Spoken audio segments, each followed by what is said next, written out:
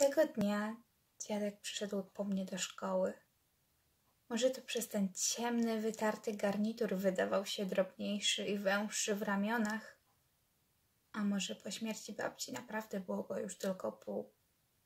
Bez słowa wzięłam go za rękę i ruszyliśmy powoli znajomą trasą przez park. Mieszkanie dziadków nie było już tym samym miejscem.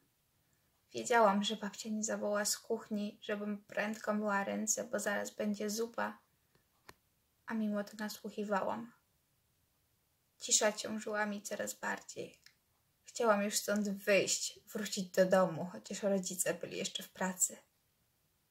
Ale dziadek, nie zdejmując marynarki, jakbyśmy przyszli tu tylko na chwilę, wszedł do kuchni, stanął przy szafce z szufladami i wysunął najniższą z nich.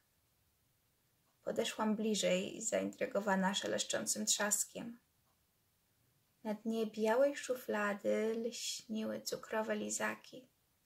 Te, które babcia lubiła wyciągać z torebki ze słowami Wnusiu, mam coś dla ciebie. Lśniły i piekły w oczy i po chwili zamieniły się w rozmazaną plamę. Wieczorem w swoim pokoju wysunęłam najniższą szufladę biurka. Wyjęłam z niej wszystkie komiksy, kredki, naklejki, a nawet paprochy z temperówek.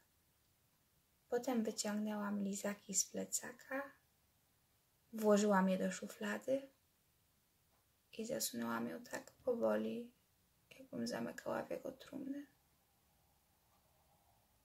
Coś się we mnie zmieniło. Pochowałam poczucie opuszczenia.